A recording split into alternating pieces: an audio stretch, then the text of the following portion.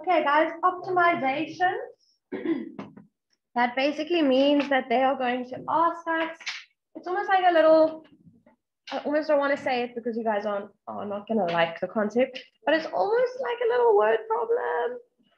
Um, almost where they give you a scenario, a real world scenario, and they ask you to find um, a certain thing that will maximize the profits, for example, or a certain thing that will minimize the whatever. So it's it has to do with maximum and minimum. Okay, so they are going to give you stuff that you need to maximize or minimize. So guys, what we're just going to do quickly, gonna, we're going to write down the steps. It might not make a lot of sense to you before we're actually looking at an example. Okay, but let's just have the steps and then we'll do some examples. So the first thing that you're going to do is you're going to set up an equation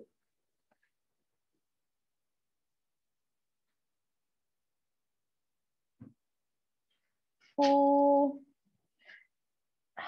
um, the quantity that is asked to maximize or minimize.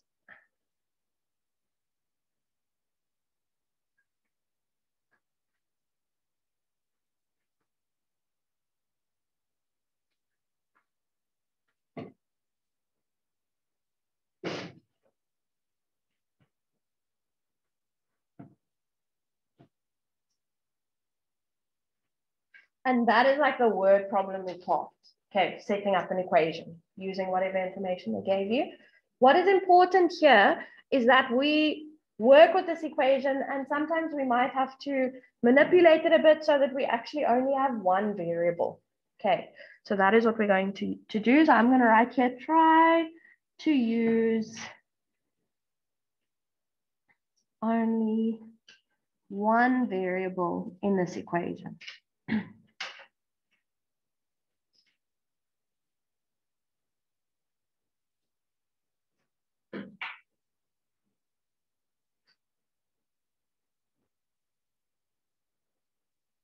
right? Sometimes it will be as simple as just rearranging it so that some, one specific thing is the subject. You'll see when we're doing examples.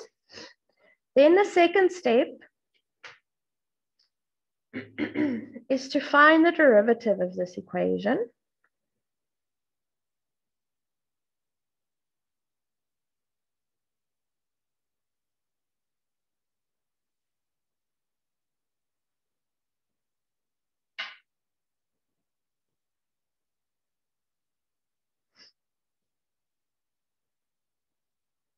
In terms of the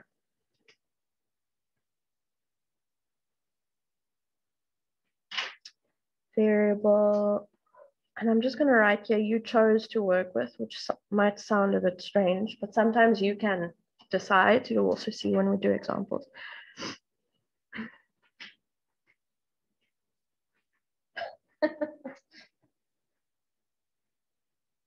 So guys, if we have a graph, let's just quickly think, because we've just done graphs, right? If we have a graph, are we listening? The turning point of that graph would be the maximum point, the local maximum point, and the local minimum point. Now, how did we find the coordinates of the turning points? We make the derivative equal to zero. All right, we're going to use that same concept here. To find the maximum value or the minimum value for these things, we're going to use that same concept. So let's just do a little um, graph there. You can do it next to the heading. All right, that would be our maximum point, our local maximum, I know, but we're going to use that as the maximum value, and that would be our local minimum point. And finding those two points is almost like optimization, all right? Like finding the maximum and the minimum, basically. And to get that, we would always make the derivative equal to zero. So once we found number two, once we found the derivative here, we're also going to make it equal to zero. That's what we're always going to do to find the maximum or the minimum. All right, we did that to find our maximum and minimum points on the graph. Now we're going to do it in just a different kind of scenario. All right, now we're going to make this derivative equal to zero.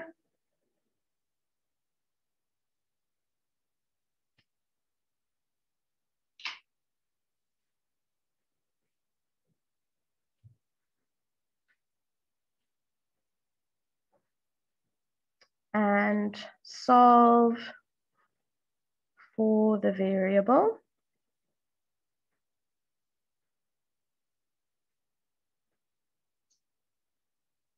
And then depending on what the question was actually asking for, you might need to use this value of the variable in order to answer the question. Okay, so it will be different in all different types of questions. So the last step, sometimes this will be the answer, all right?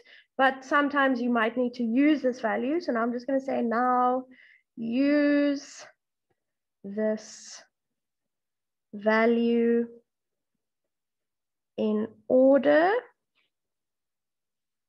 to answer the question.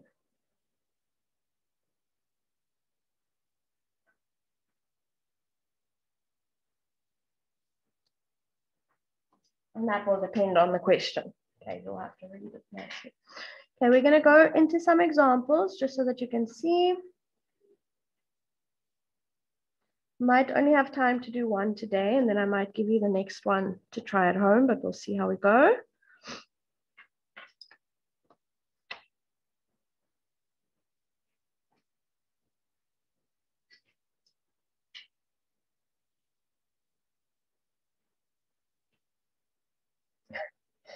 I always laugh about this. I'm going to write the whole thing out like it is in the book, but it has some unnecessary information.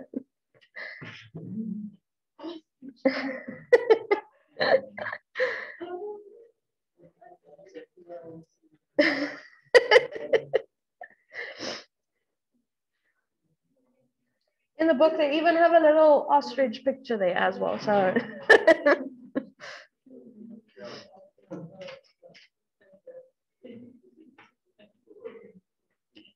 Um, and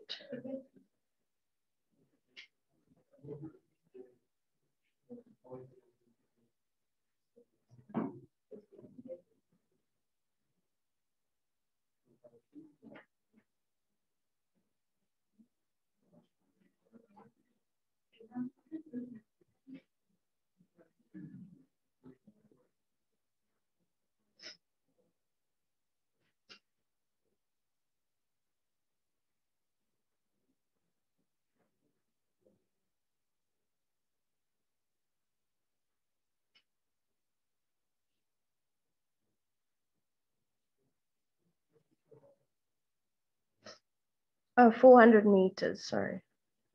No, not 40 centimeters. what kind of ostrich is going to fit in? so that's the area.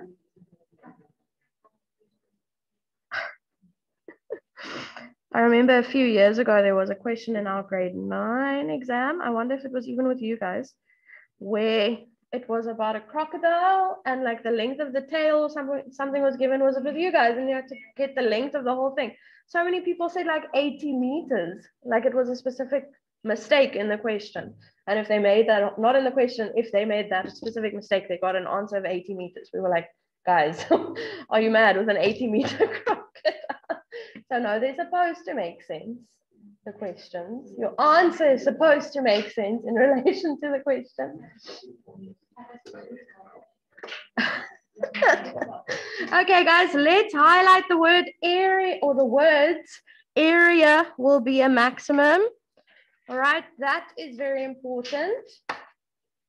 So they're saying a rectangular den for ostriches is enclosed using 400 meters of fencing and making use of an existing boundary wall. Okay, now that might be a little bit ambiguous, but what they mean is that you have like a wall like this, and then the fencing is going to be used for three sides of the den. All right, they're not going to put more fencing along the wall as well. Calculate the dimensions. So if this is a rectangular den, they want to know what the length of it is going to be and the breadth. Okay, so that should be our final answer, length and breadth, so that the area will be a maximum. Now guys, they're telling us that the area must be a maximum. So we need to find an equation for the area of this thing. Find the derivative of that area equation, make it equal to zero, get a value, and then, yeah, we'll go from there. All right, so they're saying that the area must be a maximum. So that is the equation that we need to look, look for, the equation that we need to set up. Okay, so if you want, you can do a little, a little diagram. Okay, if you don't want to, you don't really have to. I'm gonna make my wall like this. Okay, there we have a wall. Thank you. And then there we have our fence on that side, and then that side, and then that side. Okay, I don't know if that's very accurate, but whatever. We get the idea.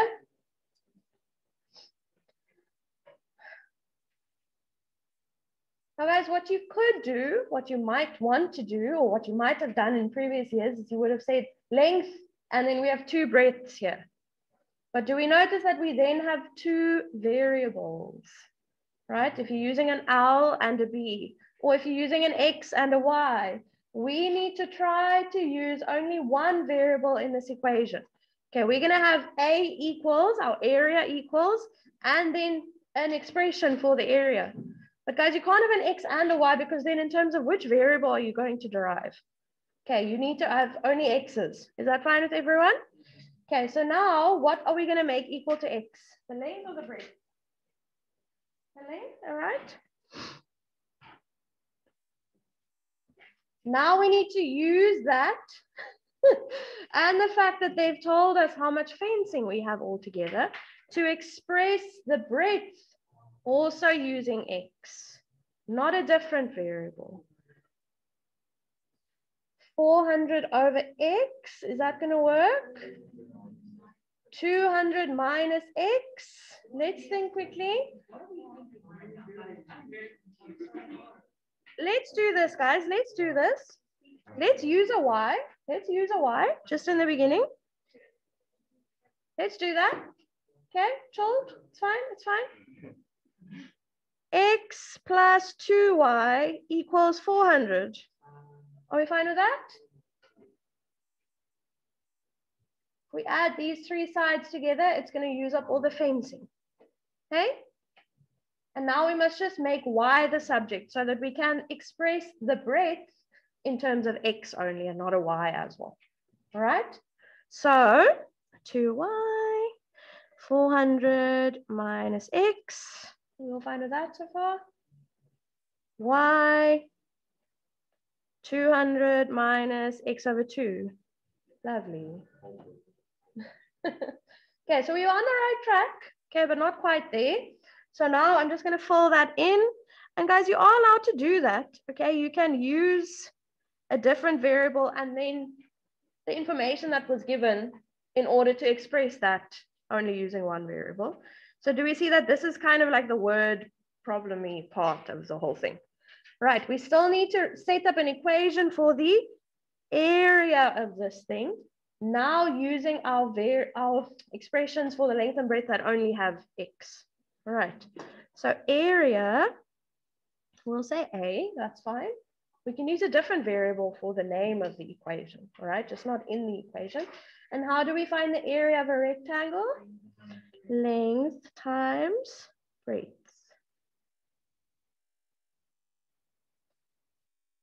So guys, in order to derive that, are we going to leave it like that?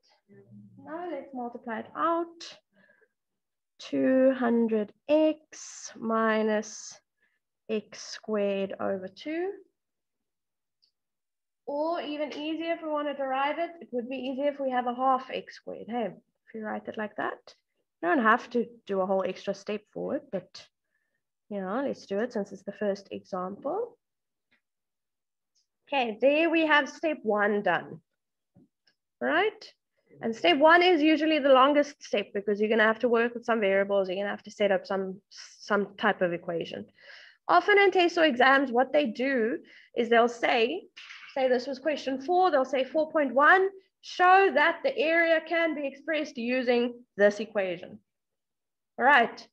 And then after that, they'll say, now find the maximum, da, da, da, da, da. So that if you can't do this on your own, you can at least use the given equation in your next questions. Does that make sense? So this is usually a show that type of question. Okay, so now that's step one done. Step two, we need to find the derivative of this equation. Now guys, what is the name of this equation? A, what is the variable that I'm using? X. So the derivative of A in terms of X. And we're going to make that equal to zero. Let's do steps two and three in one thing. Yes, I suppose that would be fine, yeah. I just want us to get used to using this, okay, which is why I'm putting emphasis on it. And now the derivative of 200x. 200 minus a half x squared, 1x, hey, just x. And that is equal to zero. So what is x? 200. I feel like the easier the equation, the more uncertain you guys get. uh, I can see that, yeah. Okay, so x is 200. And guys, what kind of thing is x? x is the length, hey? So 200 meters, we can say that. Right, that's step two and three done. We've now made the derivative equal to zero and solved for the variable. Now we need to use this to answer the question, all right, which is step four. Now, what did they ask for? Calculate the dimensions so that the area will be a maximum. So we need to say what is the length and what is the breadth. Okay, now the length is 200, right? Do we see that? Then what is the breadth going to be? 200 minus x over 2. So 200 minus 100, so 100, hey? Therefore, you can write it like this. You can say dimensions are 200 by 100 meters. That would be fine. Don't know what you mean by that. Or you can write length equals 200 meters and breadth equals 100 meters. Okay, so you can get that 100 in two different ways by subbing the x value into that expression that we have there for the breadth, or because we know that these three altogether must add up to 200, oh, three, oh, 400, cheapest, 400, and that's 200, and those are obviously going to be equal. They each must be 100. Okay, uh, how are we feeling about that? yes. The thing is that the area, the minimum area would be what, zero. So guys, for these questions, they will always only ask for a minimum or a maximum. And all you need to do, in some cases, they can't ask you for minimum area right? Because what would the minimum area be here? I, I mean, zero, I suppose, and that's a silly question to ask. All right, so they will always only ask you for one, and then you're going to use the same method. Doesn't matter whether they're asking for the minimum or for the maximum point, because that's what we do when we're finding the graph, say the turning points. To find the minimum or the maximum, we use the same method, all right? And then it depends on what we're subbing those x values into. That expression will give us either the local maximum turning point or the local minimum turning point. Okay, so I don't want you guys to stress about, oh, are they asking for the minimum or the maximum? Sometimes you will get two X values, in which case you will have to sub them in and actually check which one is minimum and which one is maximum and then choose the one that fits. Okay, it depends on the question. But you will always do the same method. You're gonna set up an equation using only one variable, find the derivative, make it equal to zero, solve for that variable, and then answer the question based on that. Um, why did we even get one? Because when we are finding our derivative, we actually end up with a, a linear equation and not an exponential equation, Ugh, not a quadratic one. So if this thing was a cubic, we might end up with two different x values when we're making the derivative equal to zero, because it would be a quadratic. But it also just depends on the type of scenario that they're giving. Yeah. Could they ask us this type of question, but instead of a flat 2D image with a 3D Um, yes, number two. There we go. Number two, there we are being asked about the volume of this box.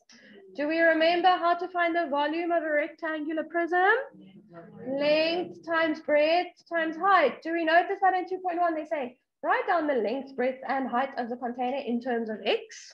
All right, so that we have all three of those dimensions in terms of only one variable.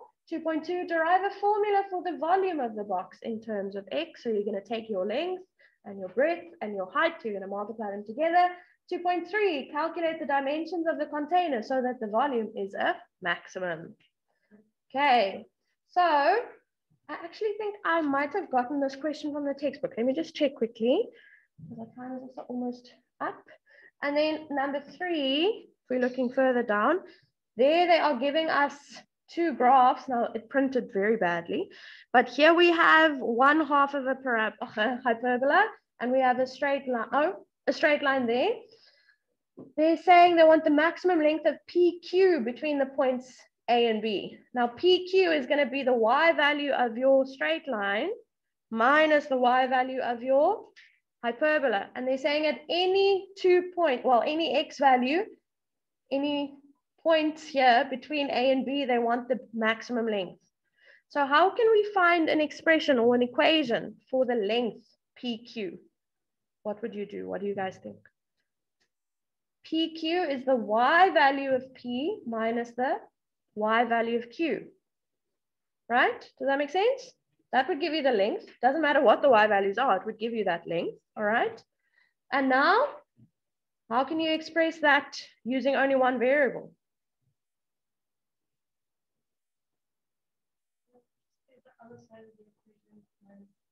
Hmm?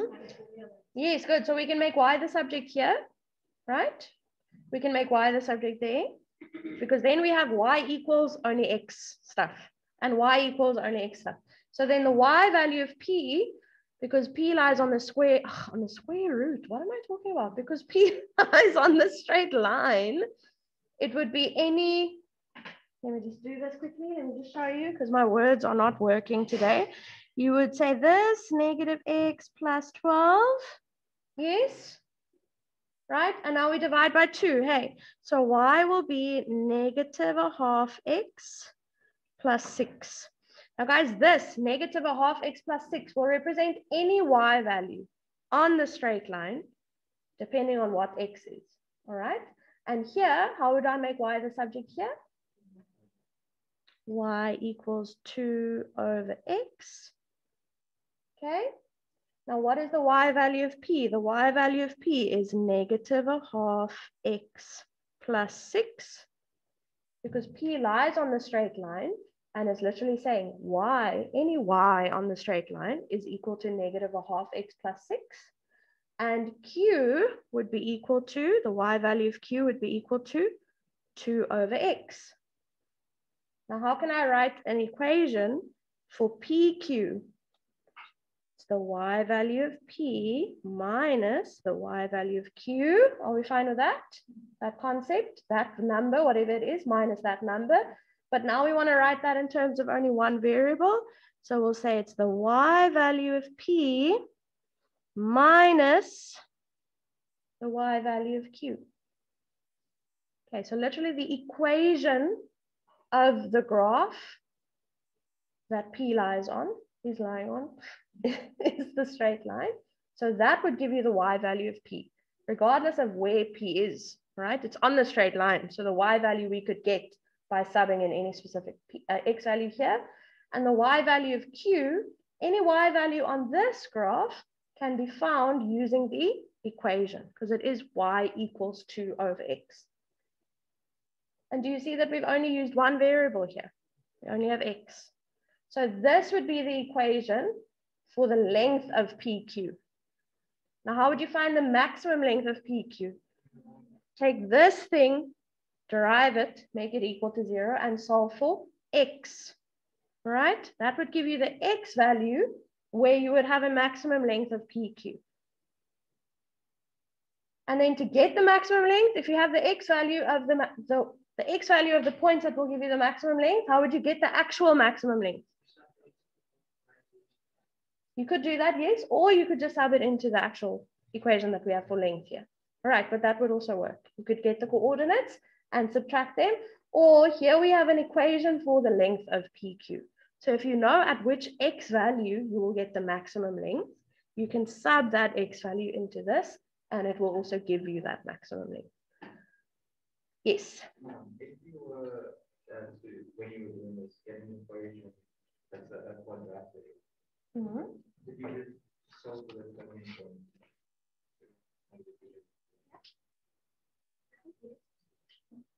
or using, yeah, I mean, they technically wanted to use the derivative, but you could do.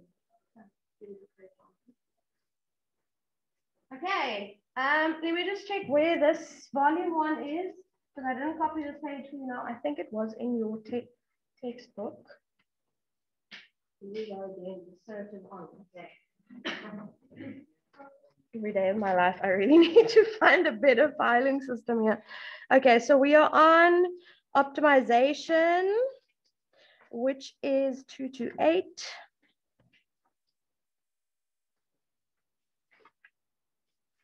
Oh, it is actually an example in the book.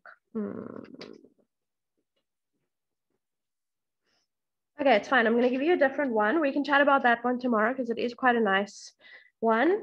Can we all write this down, please, guys? Exercise 9.4. Exercise 9.4. Exercise 9.4. I'm waiting. Okay, we're waiting for you. Exercise 9.4. Page 230. I would like you to do numbers five, mm, six, and then on the next page, so it's five, six, and 13. Five, six, and 13. Five is, yeah, five has to do with volume of a rectangular prism of Butin-Alderon. Six has to do with the volume of a cylinder. Do we remember what that formula is? Volume of a cylinder. Remember guys, the volume of any shape is the area of the base times the height. So what shape is at the area of, or on the area of, oh man, what shape is on the base? Oh, what shape is the base of a cylinder? A circle. What is the area of a circle? Pi r squared. So pi r squared times height. That will be the volume of a cylinder. My brain is still there. Sorry, is just on vacation, it seems. All right, volume of a cylinder, pi radius squared times height. So you're going to have to use that. And number 13 is a graph question. So maybe take a picture of that if you want. Right, you have some sort of. Yes, Laura? 230 it starts, the exercise starts on 238, but the questions actually only 231. Okay, that is for tomorrow, guys. Please, you need to practice this. We're, we're doing two other types of applications tomorrow. And then we're done. And then we're revising paper two stuff after that.